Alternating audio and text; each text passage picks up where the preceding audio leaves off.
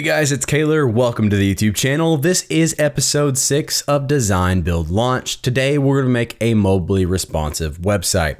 So in the last video we finished our design and we have everything set up for the desktop version of our website.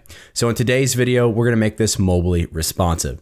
So here back in the designer, we have these devices up at the top, and these are going to be our breakpoints. So we have one for tablet, one for the mobile device on landscape, and one for the mobile device in portrait mode. And right now our design is breaking completely. All of our content is off of the screen, so we need to make adjustments starting with the tablet all the way down to the mobile.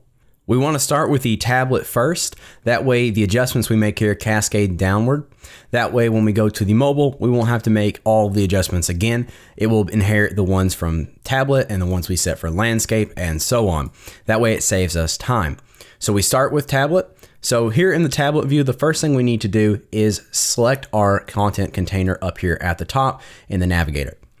We have this set to a max width of 110 pixels. I'm gonna go ahead and change this to a percentage and set it to 100%. That makes this 100% of the viewport. And so now we need to adjust the padding on the left and the right. We're going to remove the padding over here of 300 pixels. That way we shift the content back to center alignment. So I'm going to set that to 60 on the left and then I'll also set that to 60 pixels on the right. So now our entire design has 60 pixel space on each side throughout like that. Moving down to the next thing here, we have the navigation. And the navigation on our desktop site looks great, but since we've shifted our content back over to a center alignment, we no longer have that space over here. And so I'm actually just going to select in display a display of none. So this is going to hide that element completely since we no longer need that navigation here. So from tablet down, we will have no navigation to auto scroll since we'll be swiping anyway. That works fine. Since we've hid our navigation for our hero section, we can now remove the negative padding. Since that navigation is no longer there, it's no longer pushing it down. So we're going to set that to zero pixels and then the padding up at the top, we can leave it 58. You can set that to 60 if you'd like, whatever you would like for the top spacing there. If we keep scrolling through our design to see if anything is broken, it looks like this section is going to work perfectly with having our headings on the left still and our body text on the right. So we're gonna leave the skill sections alone. Down here at the projects, I'm not liking the 60 to 70 pixel gap here with that 60 on the side. So we're gonna shrink that down. So inside of the project section, I'm going to select the grid and I'm gonna hit edit grid and shrink the gap down to 30 pixels for the column and 30 pixels for the rows. And then we'll just select done. So that's looking pretty good. Keeping going down here, the about section still looks okay. For the footer, everything is looking good as well. We can drag this manually to see the adjustments automatically. So I'm just going to take a quick glance here and make sure everything looks okay from the widest the tablet view can be down to the smallest here. So everything is still looking good here at the smallest point. So let's go to the landscape view. So here in the landscape view, I think I want to make the most changes here. Uh, just because this is where everything that we set up in the tablet version is starting to break and look pretty bad. So the first thing I want to do is select that content container again. And we have that set to 60 on the left and right for the padding. So I'm going to bump that down to 40 just to give us some more room for our content to have. Then with these grids, I want to start moving these to one column. So I'm going to select to edit the grid.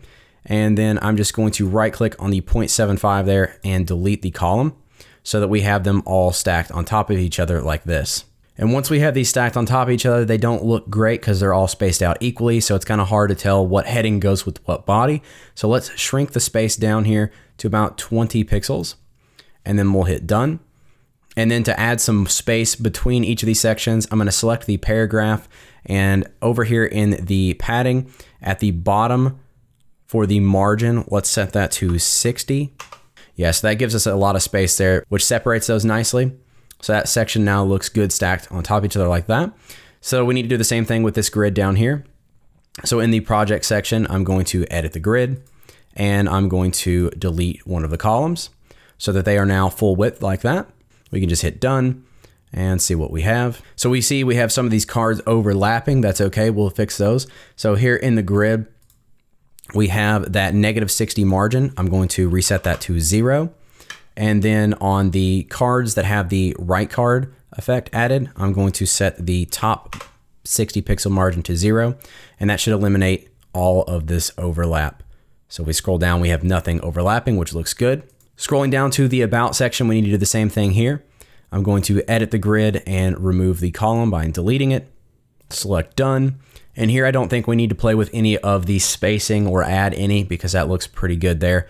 So we'll keep scrolling on down to the footer. For the footer, we have this H2 here, and I want to set this to 100% width because it's currently at 53. I'm going to select the image and I'm going to set that to display of none since we don't need that here. It's kind of just overlapping all of our content. And then I want to make these cards full width and stacked on top of each other as well. So I'm going to select the small card group and then I'm going to change this from a horizontal to vertical flex. Then I'm going to center them and then I'm going to select one of the cards, so card small, and we'll change that from a pixel width to 100%.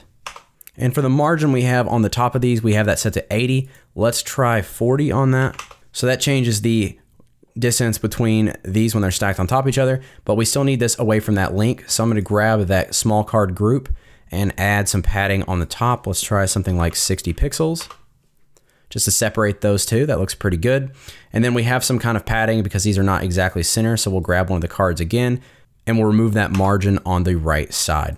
I'm not really liking the height of this section now. It's a little bit too small. This card's right at the bottom, so I wanna give that some breathing room. So I'm gonna grab the footer section and I'm gonna bump this up from 1000 to 1200.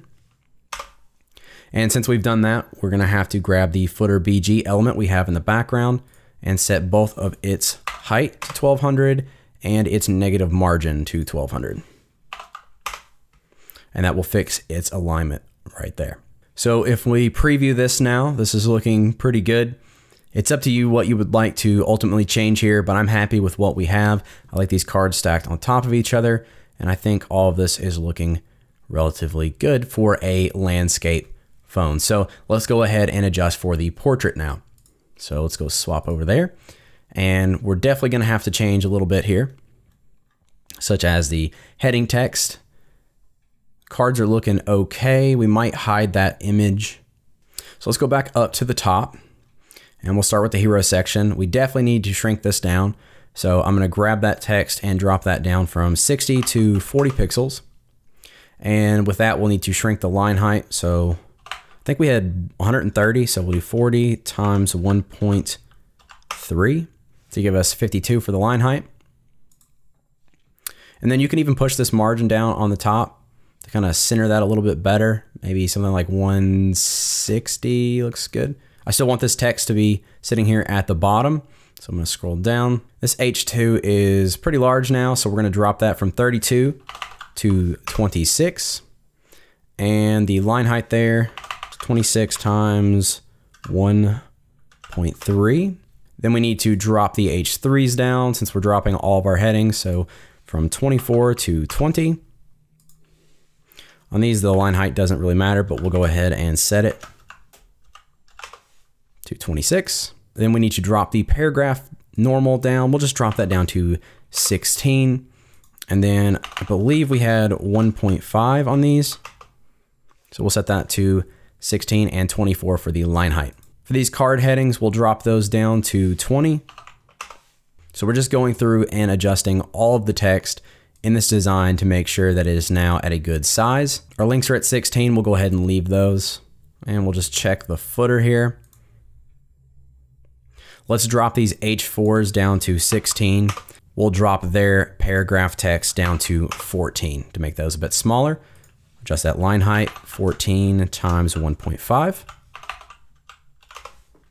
And then I think I want to increase this footer's height just one more time. So I'm gonna select the footer and then I'm going to go and bump that up from 1200 to something like 1400 to give us some more space. And we'll grab the background element there and we'll set that to 1400 and then negative 1400 for the margin on the top. I kind of like how these images are shifting over. That looks pretty cool. So I'm going to leave that. You, however, can adjust that to your liking. You can adjust the size of that, make it even smaller. um, move it around with the positioning. Same thing goes with this image here in the background. I'm actually just going to hide that one if I can find it here. Image two, there we go. And we'll just display of none. And then I've done that with the footer already. But for this one up here in the hero, look kind of blank without it. Uh, but like I said, you can adjust that how you would like. Uh, for me, I'm just going to leave that and let's go ahead and go to the live preview. And we can see that when we shrink this down, everything is adjusting to all of the adjustments that we just set to make this completely responsive. So this should look good no matter what device it is viewed on. So that is going to do it for making our website responsive. In the next video, we're going to add some SEO to this and we're going to launch our website by doing some other document settings adjustments. So I will see you guys in that next episode. Make sure you subscribe so you don't miss it. And as always, have a great day and I'll see you guys in the next one.